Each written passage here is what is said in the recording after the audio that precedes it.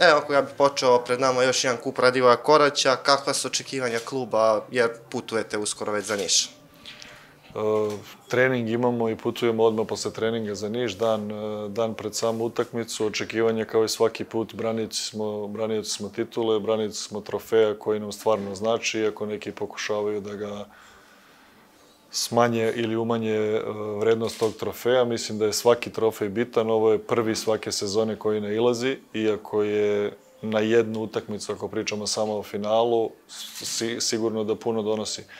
Uh, želimo da se vratimo kući sa trofejom koji je u našem vlasništvu, tako da mislim da je to sasvim dovoljno kakve su nam ambicije i s kakvim uopšte idejama i ambicijama odlazimo u Niš. Koliko za vas u klubu, da kažemo, ako izuzmemo igrače, za vas u upravi, stručno štabu, koliko za vas znači takmičenje u kupu, jer je baš taj prvi trofej, ako izuzmemo Superkup ABA lige, koji Zvezda nije učestvovala zbog toga što je trener bio na seminaru? Uh, pa, pa znači puno.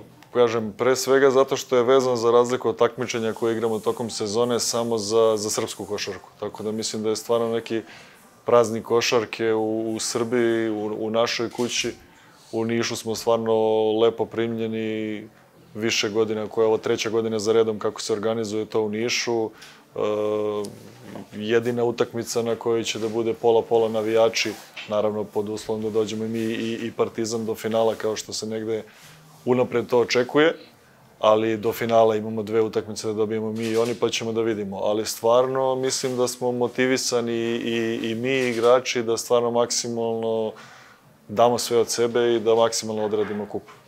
E, pomenuli ste upravo večiti derbi, eto nekako u poslednjih nekoliko sezona uvek se pred večiti derbi podižu tenzije, sve nekako ključa među navijačima. Da li možemo možda ove godine, jer će ovo biti prva utakmica na kojoj ćemo imati jedne i druge navijače, da li možemo očekivati od vas kao kluba i od Partizana možda neki apel ka navijačima da ne stvaraju nikakve tenzije, da jednostavno dozvole košarci da se igra u Nišu? Pa dobro, mi idemo tamo da igramo košarku. Stvarno mislim da nije, nije naše i da, da Crvena zvezda nikad nije dizala tenziju ni pred jednu utakmicu. Mislim da smo se uvek trudili da, da spustimo loptu i negde da pokažemo kako je to igra koja nam život znači, ali, ali ipak samo igra i jedno sportsko takmičenje, kako nadam se da će da bude tamo. Prethodne dve sezone mislim da su bile lepe i dobre utakmice.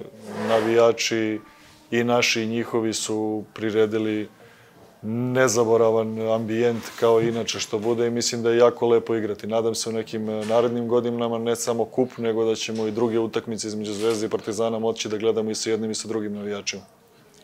E, čini se kao da je Zvezda ove sezone ušla sa malo više stranaca što nismo navikli. Da li ste možda razmatrali da nekom od stranaca date i srpski pasoš za kup ili jednostavno, ide, ili jednostavno ste već rekli idemo sa onim što je propisano već unapred?